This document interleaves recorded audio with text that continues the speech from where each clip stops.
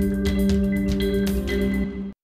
Молдова вимагає вивести російських миротворців з Придністров'я. Про це заявила з трибуни Генасамблеї ООН міністр закордонних справ країни Наталія Герман. Вона також запропонувала замінити військових Росії на міжнародну цивільну місію. Герман зазначила, що присутність російських сил створює додаткові перешкоди мирному процесу між Кишиневом та Терасполем. Варто зазначити, що вивести свої війська з Придністров'я у Кремлі зобов'язалися ще у 2004 році, але не зробили цього і досі.